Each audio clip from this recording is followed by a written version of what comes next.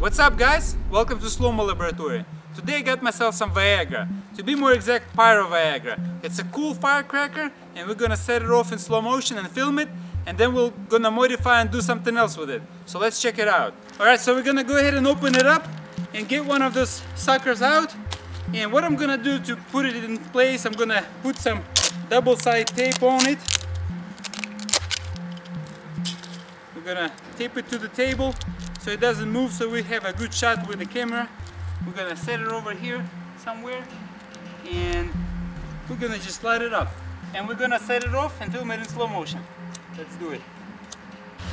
Woo!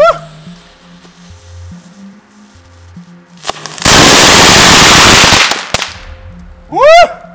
That was good.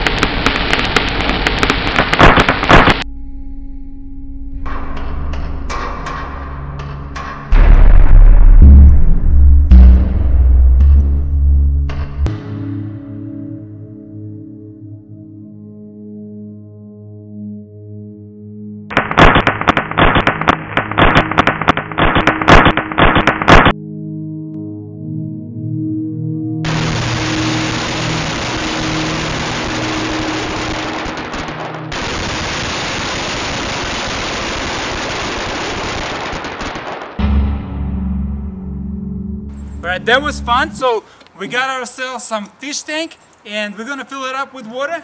Grab one of those Pyro Viagra pills and throw it in there and we'll see what happens. Hopefully it's not gonna blow up the glass.